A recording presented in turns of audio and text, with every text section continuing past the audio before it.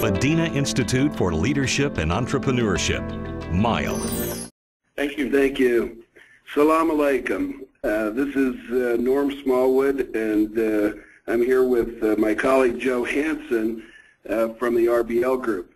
It's, uh, as, as we said, we're in, in Utah today, and it's kind of interesting because we've got a Saudi Aramco team here in, in Park City for two weeks at a leadership conference that we're running. So feel very close to you today here with uh, with with that group here, so uh, working with us. Uh, well, we're excited today to present our our, our insights about how to in, embed and build innovation capability in your organization. Uh, we've done uh, work for many years in uh, primarily in the UAE and Saudi and and Oman and uh, have uh, lots of good friends and, and are familiar with uh, many of the client organizations that we've worked with over the last uh, eight to ten years. Um, today, Joe and I are going to cover three critical factors which are really interdependent and need to be built in order to increase the amount of innovation that you have in your organization. The first area that we're going to cover is the leader's role in, in building innovation. Uh, I'll talk about that, and then Joe's going to talk about uh, how to design your organization for better innovation. What is it about how some organizations uh, create a platform for innovation that sustains versus, uh, versus others who don't have as much luck? And then finally, uh, and possibly the most interesting of the, the three topics is the individual level. What can we do to become more innovative? How can we uh, think and then act more innovatively? Um, so this uh, next slide here looks at uh, the leader's role in increasing value in the organization. And, uh, and if you're a publicly traded company, you've, you've likely experienced this uh, shift in what drives market value. You look over on the bottom left, in 1977, earnings or financial results were, were king. Um, a company's stock price was directly related to its financial earnings. And yet here we are uh, 40 years later almost, and we're living in a world in which those financial results uh, on average across all industries account for only about half of market value. So the question is, what, what is it that has changed? So under the graph, you've got uh, your confidence in your track record. So that's uh, your ability to deliver your, your earnings, your financial results. And then the, the the part above, the value that has shifted, which is the value that is no longer just earnings, has to do about with uh, investor confidence in your future. And those are things uh, that uh, we'll, we'll, take a little bit uh, deeper look at here. And the, the most important question is, what is it that a company can do with uh, that that uh, wants to increase and have higher levels of confidence in its future. Um, and, and, and so if we take a look at this next slide here, um, we'll, we'll, see why that's so important. So what we've done here is we've taken a number of leading companies and then uh, looked at their price to earnings ratio over the last 10 years. So the earnings is their financial results, and then the price is really the price of their stock. So really the, the price to earnings multiple is the difference between what their earnings are for the year and what the price of the stock is. So in some of these companies, if you go down to the bottom and look at uh, Pepsi, for example, Pepsi's also uh, uh, has a, a team of leaders here at our conference in Utah but uh, Pepsi has a PE ratio for the last 10 years that averages about 19.4. And then, again, you almost have to look at this on an industry basis because uh, the factors driving confidence and the, the how, how uh, high the PE ratio can go are actually governed by the industry you're in. But if you look within your same industry, you can see that Pepsi uh, is competing against a group of companies whose PE is about 17.43. So, so whatever it is that Pepsi is doing, they've got more investor confidence than the average in their in their industry. It's about 12% more. That's uh, the difference between the 19.4 and the 17.43. And since Pepsi has a market capitalization of 128 billion, that translates to a value premium of about $13 billion. So the question is, what is it that is going on at Pepsi that's creating this, uh, this premium in their value? And then we'll tie that to innovation. Well, in earlier work that we've done, we've, we've looked at how leaders in some companies have been able to increase the amount of confidence in their future. And they do that by aligning these four components, the architecture for intangibles. And so I'll just go through these quickly and uh, on, the, on the top right, we'll, we'll see where innovation really begins to, to play a role here. But uh, the first thing that any leader needs to do if they want to increase confidence in their future is to deliver on their financial promises once you, you can't get any premium if your earnings promises are up and down. So you have to, to stabilize those and get confidence. Those are the table stakes to uh, increasing value. Once you've got that, the next step is to have a compelling strategy. And leaders need to be able to describe how their company is going to grow profitably in the future. We're going to do it through product innovation? Are we going to do it through selling more to existing customers? Are we going to grow geographically? But that uh, growth strategy has to be clear and has to be articulated over and over again to, uh, to stakeholders of the organization. The third level is to align technical core competencies. In other words, all work is not created equal. And in a few minutes, Joe's going to show how some leading and innovative companies have invested in their technical core competencies in different ways to organize to, to create really sustainable innovation. So if, in other words, if your growth is going to be through product innovation, your, your technical core competencies will be different than the kind of innovation you need if you've got a customer market segmentation that uh, where you're trying to sell more to an existing set of customers.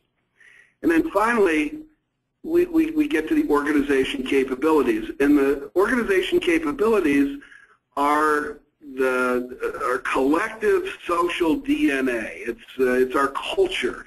It's what makes us unique because of our people and, and the way we're organized.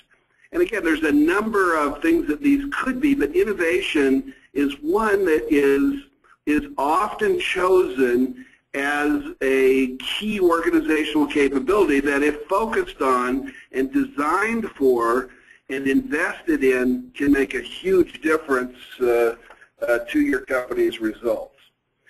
So um, what I'm going to do now is basically I've, I've, I've, set this up to say there's three areas we're going to cover. We're going to look at the role of the leader, we're going to look at the role of organization design for innovation, and then the individual side. So I'm going to turn it over to Joe to talk about uh, the design implications here.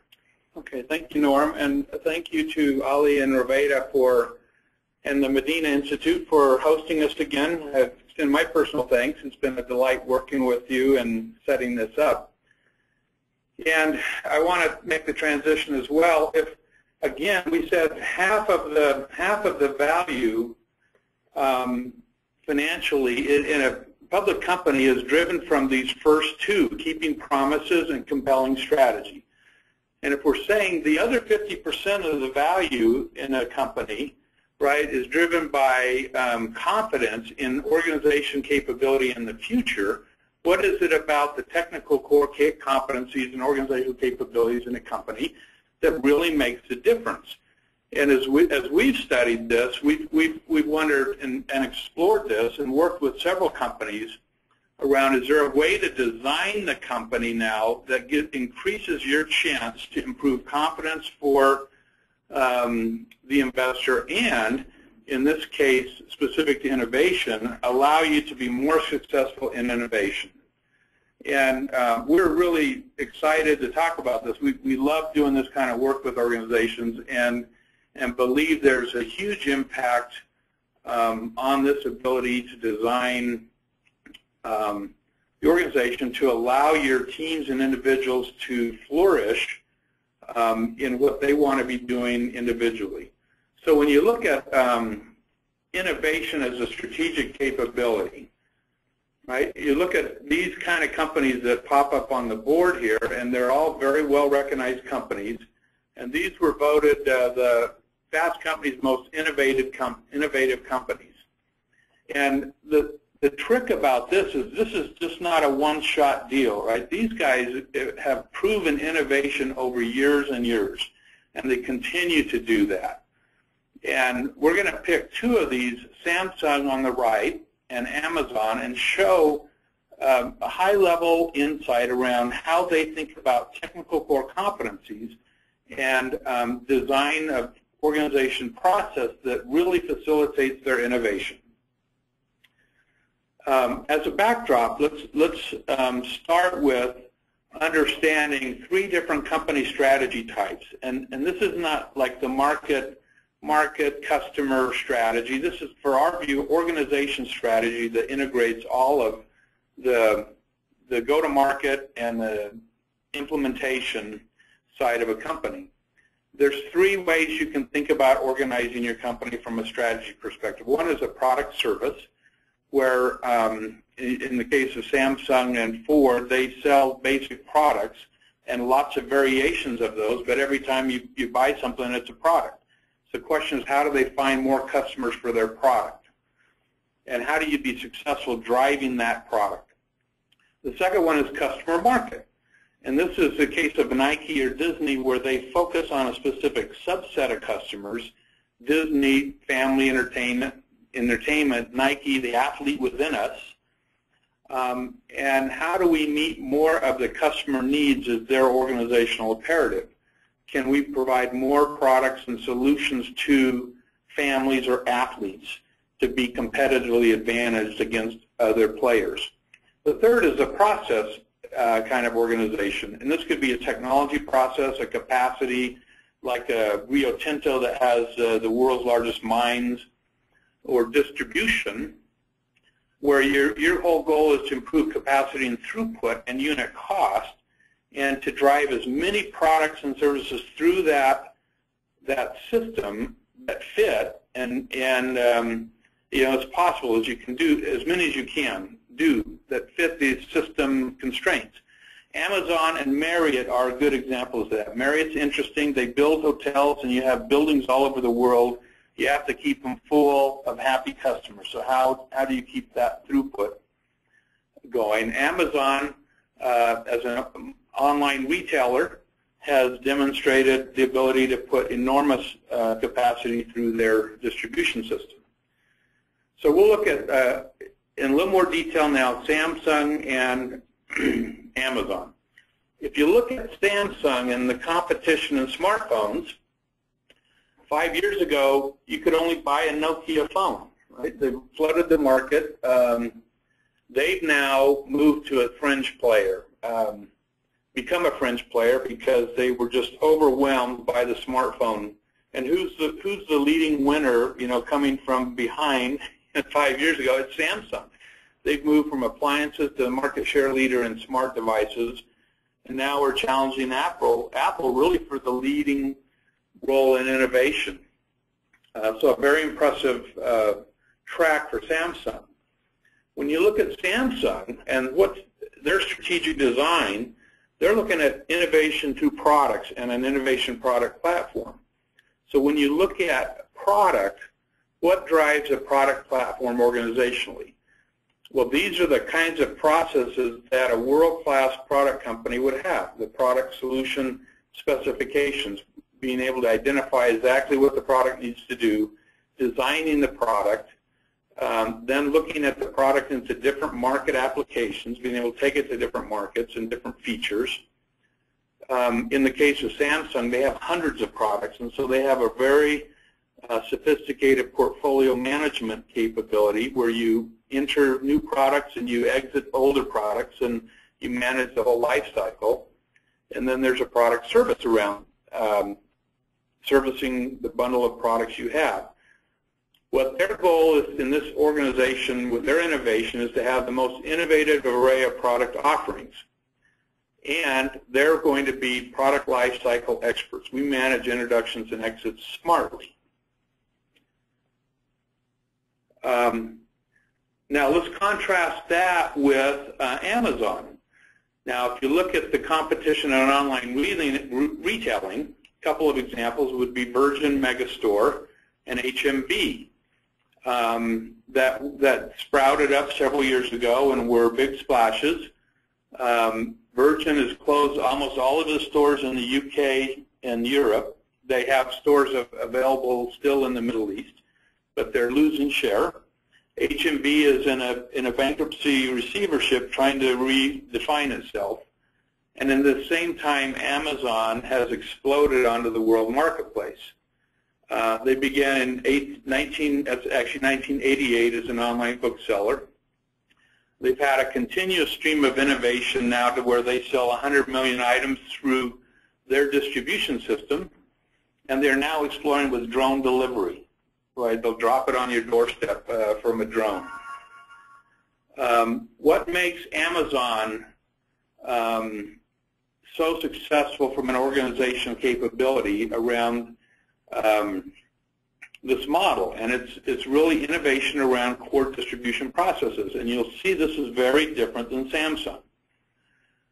Amazon looks at um, the strategic alliance management. We need to have um, relationships with hundreds of thousands of superior vendors, and in this case, it doesn't even matter if they sell one or two or a hundred thousand. We can make it successful digitally, you know, with the digital commerce through our, our uh, system. Then in the next two, we, we developed the most sophisticated, sophisticated distribution system and management of that system um, for throughput, capacity, and reliability and cost. We can do that better than anybody, any other retailer. Market and product solution portfolio says we're looking, constantly looking for new ways to innovate uh, market applications and new solutions. And then the demand is how do we how do we sell those solutions into the marketplace? So their capability, right, in in the red box there is we are more effective and efficient than any competitor, and we are more proficient at designing and selling new solutions that fit our distribution system. So if you look at um, the contrast, Right, these are both winners in their industries, and they're designed completely differently. Samsung is a product platform and a lifecycle player, um, driving uh, an array of similar products and solutions, and then a portfolio management around those solutions. Amazon is all about alliances, distribution, solution platforms that can be more more competitive um, to, to send thousands of products that are unlike, uh, that are this similar. Uh, Samsung has similar products around their smartphones. Amazon can sell hundreds of thousands of products that are dissimilar through the same distribution system, um, and and more than anyone else in the world. So this highlights that for us, the differing strategies require different innovation driven by unique process design. So Amazon is going to be innovating around um, these parts of their core capabilities. So tying back to what Norm said, what are the technical core competencies and capabilities and cap uh, that, that drive the competence in the future? For Amazon, it would be these five they'll be innovating around distributions, new, new vendors, new product applications, and Samsung will be innovating around product design, new product app features and applications around the smartphones, and then can we increase a competitive portfolio of, of uh, products and services to beat Apple.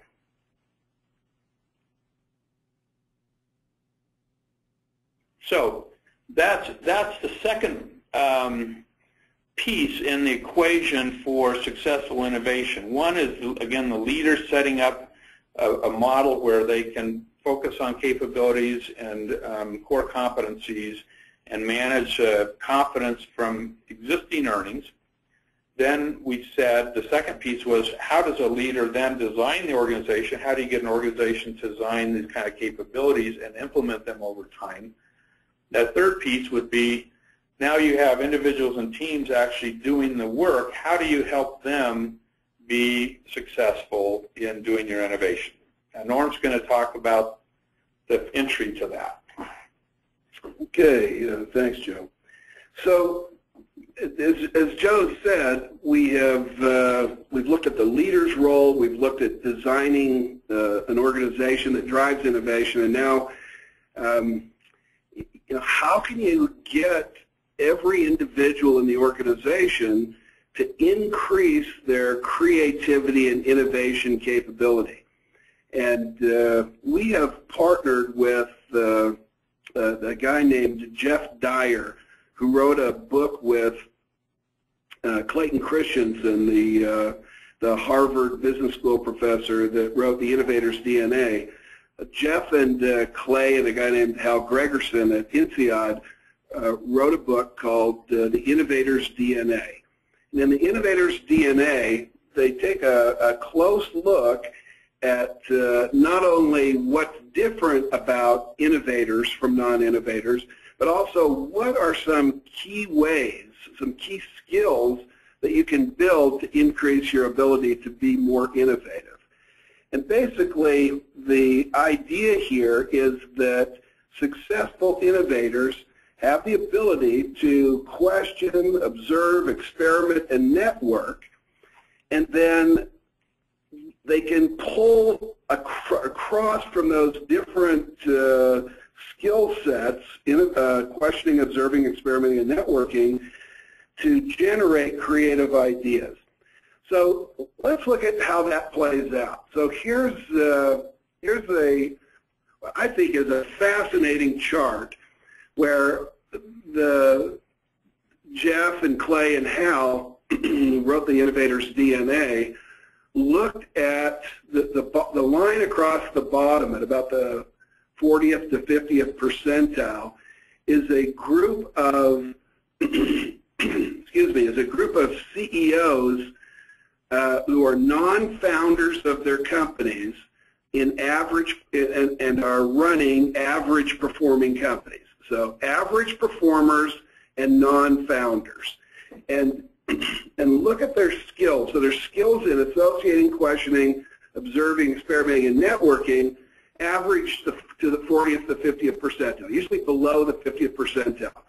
Now, if you compare that to the scores of, of some founders of very innovative companies, uh, Mike Lazaridis, uh, who founded BlackBerry. Uh, BlackBerry has sort of suffered the same uh, problems that Nokia has in that they haven't continued their innovation journey and uh, have done a downward cycle. But for a period of time, BlackBerry invented this uh, smartphone market and uh, and and obviously the Mike's skills there uh, are fairly self-evident. Pierre at uh, eBay, Scott Cook at Intuit, and uh, Michael Dell at, uh, at Dell um, all show a very different uh, profile around each of these areas. And so uh, with that, Joe's going to get in and talk about what are some ways that we can actually build each of these skills. So what are they and what are some ways that we can increase how we, uh, we utilize them? Okay. So let's um, let's talk about each one of these uh, for a little bit, just to get a sense of, of what this means. Associating is is connecting things that are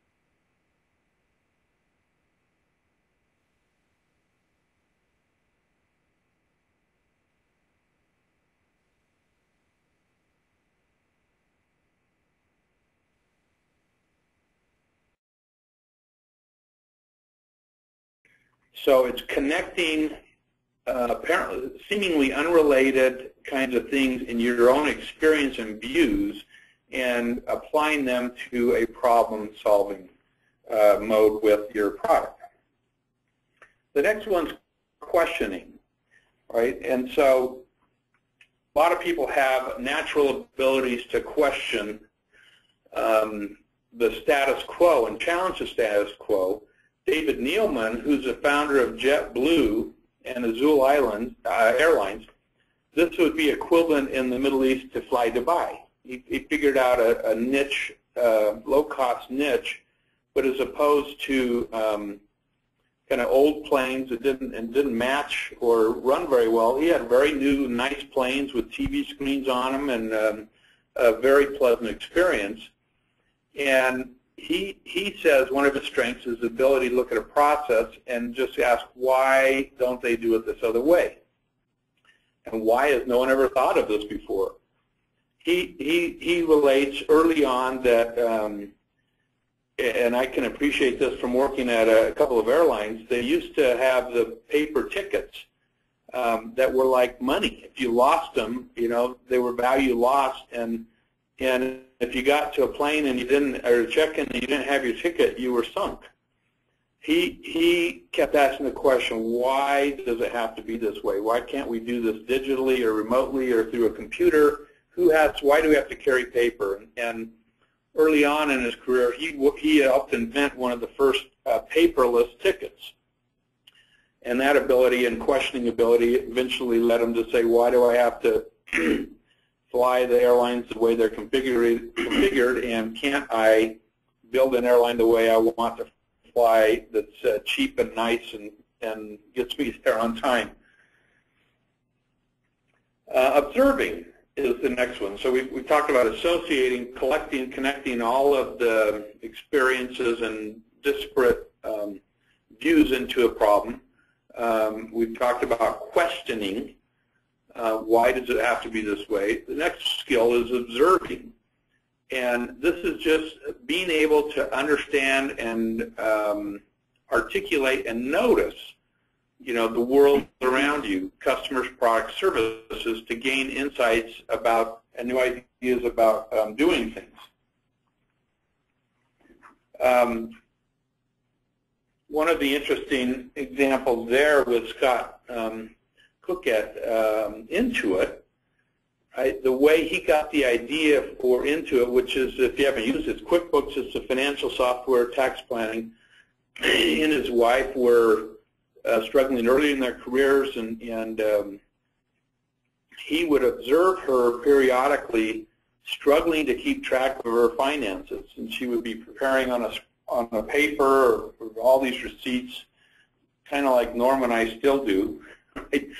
um, and struggling to be able to compile information that would um, make sense for her tax accountant.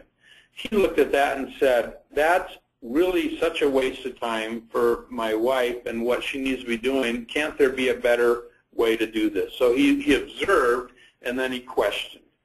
And out of that simple observation, he, he developed Intuit and um, now is one of the most innovative companies around financial services uh, software. Um, the next one is experimenting. And, and this is um, taking business ideas or um, concepts and being able to try them out in new places, new things, new information to pilot and test hypotheses. And um, you can think about this within your organization. How, how confident do we think our employees feel in trying new ideas and experimenting? This is something that is, is uh, extremely important as a, a, capability and as an organization uh, culture to allow people to take the insights, the observations, the questioning, and then actually experiment them. One of the, the, the greatest innovator experimenters is uh, Sir Richard Branson right, in the UK, who has launched over 300 virgin companies, right? And, and he started out in the music business. He said, I got tired of flying British Air. Can't I create a new airline? He, he thinks boldly. There's got to be a way to um, have have a better service experience and a more fun and dynamic experience than the airlines. Um, right? he said, I'm prepared to try anything once. And, uh, you know, a favorite quote is, I'll throw mud on the wall and, and see if it sticks. Now, behind him, right, are as, as many companies that didn't succeed, actually probably more companies that didn't succeed than those that succeeded. But he was willing to try anything. Um, the last one is networking finding and testing ideas with a network of individuals who are diverse and um, and have different perspectives. So if we think about if if you were to list your top 10 people that would be go-to people to help you generate a spark new ideas, how who would those be and how, or how many could you list? And in the research, they found that many many people um, that were, were more of the average or below average innovators, they couldn't list anybody, which meant they only looked at themselves for ideas. In companies, um, if you put a group of people and ask this question, who are the top 10 go-to, you tend to have the same people. Right? They're all referring to um, kind of high-profile, experienced people that everybody knows, and they coalesce around the same 10 people. And the highly innovative companies and the, those who are successful innovating have a different model, right? They tend to think about networking and as diversity. The more um, you can surround yourself and link and integrate with people that are very different, either in a different function, um, a different geographic location, different native language, someone 18 years or younger, someone 75 years or older. How much diversity you can get and you have in your network tends to drive the ability to, to search for new ideas and, and uh, applications. So Pierre at eBay, right, I really look for insights from unusual places. I'd rather talk to someone in the mailroom than the CEO. Right? And um, that's interesting. So he's, he's seeking top to bottom, side to side, inside, outside um, for networking ideas in eBay. And if you look at the history of eBay, they innovated a whole new platform. They stalled in their growth, and they realized they didn't have enough innovation, and they didn't have enough capability inside to do the innovation. So they went and bought about 80 startup technology companies that were founded by extreme innovators. And they brought these folks into the organization with their innovation, and they let them loose. Um, they needed to design a new customer uh, interface on their computer, and they took one of these innovators, gave them a checkbook, and free reign for uh, however long it took. This person got six people that in the company that, that, that he wanted, flew them to Australia without anybody knowing in the company where they were. And in the next month, they designed the, the next uh, level interface of, of the eBay platform. And when he came back, um, the president asked him, well, how are you doing? And he said, well, we've got it done. Let me show you what it looks like. And um, so that was a, a, combination of all of this kind of, uh, when you think about the innovation and innovation, innovative organization, right, networking, bringing people in from outside, giving a team the ability to observe, question, experiment, and a free reign to associate all of their experience into a new platform. It's a great example of uh, being able to do um, and then a new innovation very quickly. Um, so in summary, right, the individual skill set which sets these innovators apart, as Norm showed clearly on that graphic earlier, is a combination of, of questioning, observing, experimenting, and networking, and then creating associations from all of that experience and data that can drive new ideas um, in your organization. Okay, so let's uh, wrap up. We'll make an invitation, and then uh, we'd love to have some uh, Q&A with you. But uh, you know, what we've covered is uh, three areas today. How leaders increase value through innovation. And we, we've talked about leaders have a key role in driving confidence in the future, both with external and internal stakeholders. And the way that they do that is that they deliver financial results. They, they have a strategy. Joe talked about uh, three kinds of strategy, product, customer, and process. And then given that strategy, they, they identify the, the core technology platform and then the social organization capabilities that really become our culture that, uh, that, that underpin our innovation uh, ability and confidence in, in our future. We also talked about uh, designing for innovation. We talked about uh, Amazon and Samsung and with very different strategies, Samsung with a product strategy, uh, Amazon with a process distribution strategy, identified very different technical capabilities that drove very different kinds of organization designs that, uh, that, that, result in, in very innovative companies, but in different ways. So there's not just uh, one size fits all. There has to be an alignment with what you're trying to do. And then we ended up here talking about how do individuals become more innovative? Because uh, uh all of this isn't uh, going to work unless uh, we, we really focus ourselves on on investing in ourselves to, uh, to, to learn these skills of associating, questioning, observing, experimenting, and networking.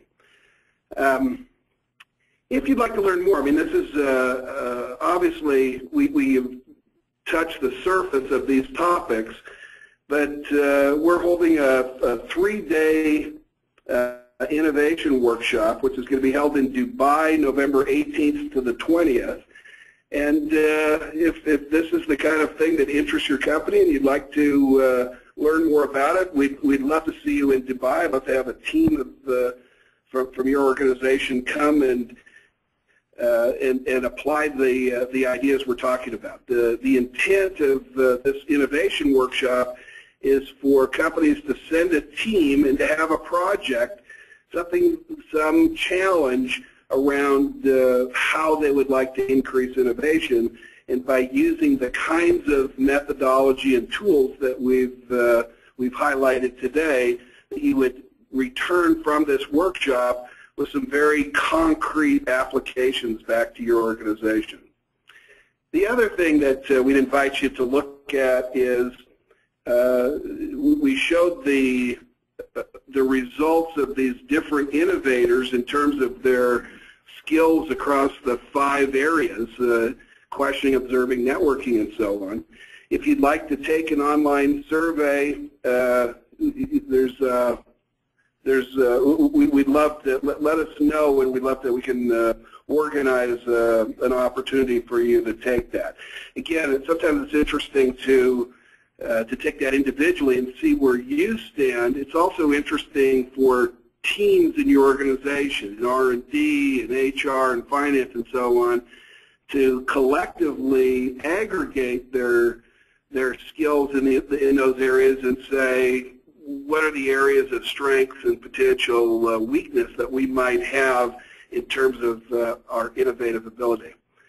Um, so I, I, I, uh, I, don't know if on other parts of the presentation that we've set out you know how to contact us, but the website is rbl.net, and uh, Joe and I have our contact information uh, up here for you to see, and if, if, you'd be interested in learning more, we'd, we'd love to uh, talk. Mine is in smallwood at rbl.net, and Joe's is jhanson at rbl.net. We've enjoyed the opportunity of, uh, of highlighting some of these uh, innovation ideas, how, how to embed innovation in your organization. And now we'd like to give it some time for some uh, questions. Well, thank you very much, gentlemen, for a very intriguing presentation. Folks, we are now open for Q&A. If you have any questions, you could put it in the question box or you could raise your hand and I'll give you an opportunity to speak. Uh, let me go straight to the first caller. As usual, we have Dr. Muhammad. Could you please introduce and ask the question, sir? Yeah, thank you very much, uh, Norm and Joe, for such a fantastic, fantastic presentation on innovation.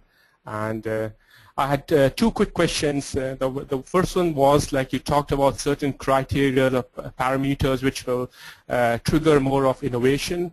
So can it be uh, one of the criteria? Can we change? You know, change tries to bring triggers into innovation.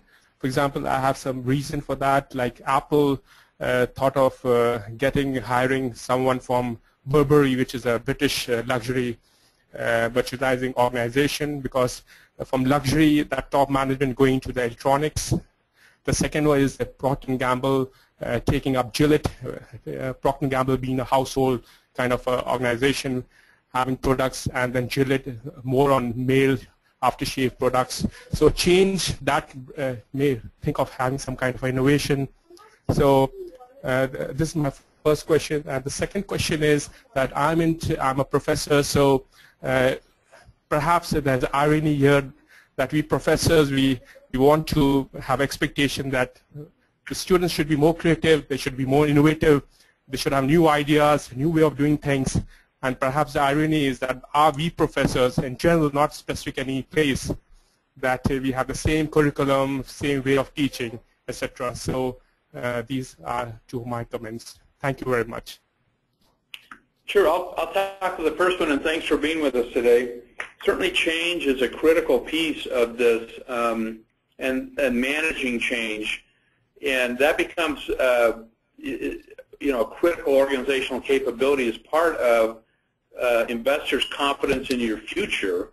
When you think about um, the massive amount of change Samsung's undergone, right, or Amazon's undergone in the past um, five years, um, what what what they developed is not not a, a, a need around changing their business model or changing because they have a crisis they've been able to take change as a capability uh, and a directive and a constructive change around their product or around innovation, right? They've, they've welcomed innovation, they, they welcome change and new ideas and innovation.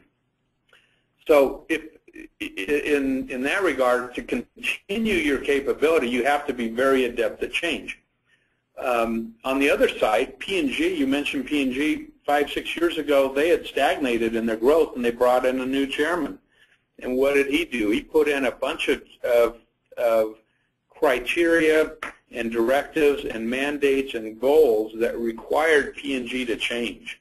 And it was all around innovation. Right? They said, we're going to be the most innovative um, um, uh, company in this industry. And in fact, in the research with Jeff Dyer and Clayton Christensen, they're one of their high, hyper, highest performing innovation premium companies. When Norm talked about the, the price earnings premium that that's driven from innovation, P&G had like had a 38% premium because of all the innovation they've done in the last um, over the last five six years, and that's because you had a chairman that came in and said we don't we're going to change the way we do this, and and put the strategies in place and more importantly the metrics around measuring percent of revenue from new products and services. Um, so when we look at those three elements we talked about, right, it's a leader um, setting those expectations and driving change, and then are they designing the right parts of the organization and putting the right pieces to help manage that change to where they want to get to. That'd be our our uh, our view on change. Thank you. Norm will take the other question. Yeah, the other question was just about uh, how universities have, if I was to summarize the, the question, I, I don't know if it was a question or a comment, but but if I was to summarize it, I, I, I agree with the sentiment at least, which is that uh, if you look at business schools, for example, uh, business schools tend to be set up in a very siloed way. You know, you've got a strategy, finance, marketing, organization. So we, we, we silo them uh, while they go through their educational experience, and then they come out into business, and we want them to work as teams and cross and so on. And sometimes we're surprised that we educate them in silos, and then when they come into the uh, into the business world or the working world, then they tend to be more siloed. Um, even the research that goes on about how to do things is is often very siloed.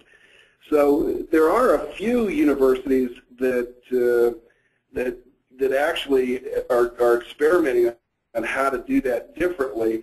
That the one that comes to mind first is the Duke's MBA program, where the students are put in teams at the very beginning of the year, and uh, and they and they try to put students by their predisposition. So if you're more of a strategy-oriented person, they might put you with uh, finance and marketing uh, uh, to, to, to, comprise a team of, of people that are more like what you'll experience uh, when you go out into the working world. But, but uh, the fact that we silo the, the, the educational experience and then expect something different when they come into work um, is, is, is really questionable. And, and obviously, the, the change needs to be both at the, uh, the university side where we've got to get more integration, more cross-discipline kinds of uh, activities going on, and then again for businesses to uh, to support that when they come out and and uh, uh sort of have career paths and so on that allow people to uh, to, to, get uh, to integrate across those disciplines so that they can turn into to better future leaders and professionals.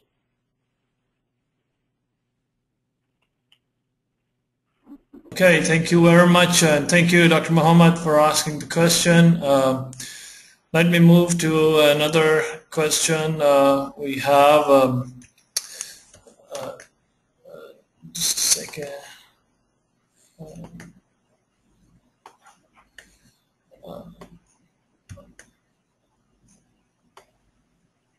what would you recommend to an organization who wants to build an idea bank? How should one structure or filter out the inputs in an organized manner and equally reward the most creative ideas? You know, this is this is Norm. I think the answer to that is, I think uh, it, it can't just be one thing. I think, uh, first of all, I think the organization has to ask for it. I think in many organizations, the, the there's people have learned to hear no to so many things that they stop trying to, uh, to, to contribute new ideas.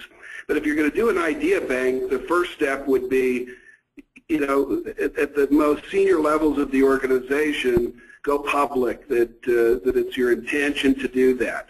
And then I think what I've seen uh, a few organizations do, a few companies, is that is that they start to measure the number of yeses rather than the number of no's. So what, what you want to see is, is the idea bank cross the next gate, right? So if you think about innovation gates, it starts with an idea, then there's an ideation process leading through to commercialization. So, so somehow that, begin to uh, have a pipeline from the idea bank to commercialization and actually have measures that are, are transparent and not only transparent, but actually push. I mean, we tell people that their ideas, where they are in the pipeline, how many ideas we have, how many of those ideas have turned into commercialization, and again, to reward people both uh, financially and non-financially. Non-financially is, is uh, obviously easier financially, if somebody had a great idea that led to uh, some, you know, financial uh, benefit to the company, that there ought to be some kind of financial benefit to the, to the individual. And uh, again, I, I, keep talking about this uh, workshop we're having in Utah where we've got these teams from different companies. I just heard a presentation from uh, 3M yesterday. 3M is, just has this legacy of innovation where the heroes in the company are the innovators. Uh, from the time of Art Fry, who uh, who, who, who worked on the uh, the sticky note and thought it was uh, you know a uh, uh, something to hold a bookmark a, a bookmarker originally. So again, those would be some simple ideas. Be transparent. ask for it. Measure success and be and, and really communicate uh, where things are in the pipeline from the uh, from the idea bank through to commercialization. The, thing I would add to that is um, you want you want a culture where people are are are feel free to input and suggest and provide ideas, but you want to focus the when you think about the customer and the market and the organization strategy you want to help frame those and filter those around your organization model. Right? The product, in, in the case of Samsung, you would like more ideas around the product platform and product innovation.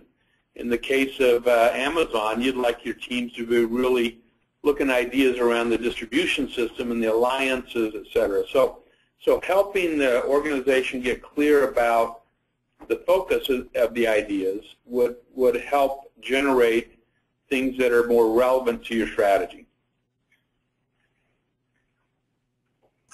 Okay, thank you. Uh, just one last question. We have time and again companies are recommended to hire innovative people to do something new. From HR perspective, don't you think managing a fleet of such innovative staff could become challenging in administering routine operational tasks? Considering the reality of business norms in parallel, you do not want to end up having a demoralized staff who cannot continuously be challenged on innovation. That's a great question, right? And then, so if, if, if you are in fact going to hire innovative people, you need to have an innovative organization to keep them um, engaged, right, and to retain them. So um, that's really what we're talking about here. With if if you need to be able to align your leadership value and, and their imperative, you need to be able to align your, the design of your organization so, so they have processes and places where they um, actually welcome the innovation. Um, you need to be able to train your people around the individual skills. And from the HR platform, we, we spend a lot of our time in design of HR systems to help support the strategy right? You've got to think through the whole recruit the the strategy for recruitment, selecting, retaining, developing, right, and growing people have, have all got to be aligned to innovation, and um, the leadership team and managers have to be you know, on board and aligned with that process as well. So you're exactly right. If you if you if you brought if you started to hire a bunch of innovative people and you didn't have an organization aligned to do that, um, you would not be successful very long in keeping those people. I had a uh, my my first boss when I worked at Exxon. Uh, we, we I remember fondly the day that he said that uh, bringing innovative people into the organization was like dancing with a gorilla.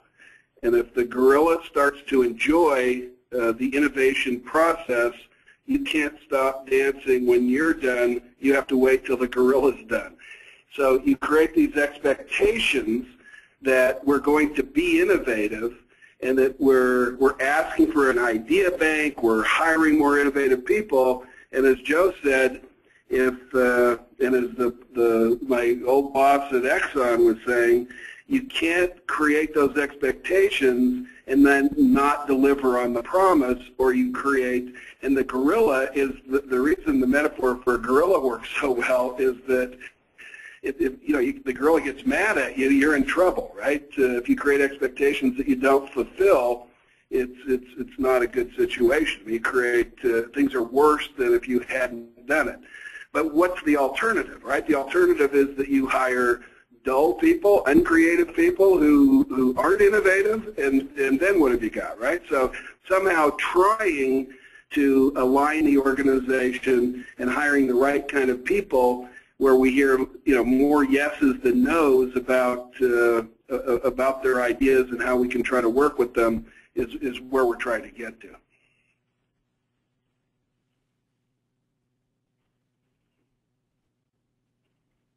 Well, uh, that really brings us towards the end of the webinar. I would like to thank you, Norm and Joe, for giving this wonderful presentation. Any concluding remarks that you would like to give before we dismiss out? Um, thank you, Ali. Uh, we've enjoyed uh, putting this together. Um, we realize the, the enormous struggle that organizations are facing in, in today's marketplace and um, the, the kind of aspirations and intent of most employees and managers and professionals around succeeding the with the organization, helping the organization succeed. And we hope that um, kind of the framework we provide and some of the insights and tools can be helpful for you in a, in a simplest way of being able to move forward your, your dream of having a successful company. And we'd love to see some of you in, uh, or all of you actually, in, uh, in Dubai in September or November. So uh, thanks for the opportunity here. Again, thank you very much, uh, both of you, and for a very, very interesting presentation on innovation.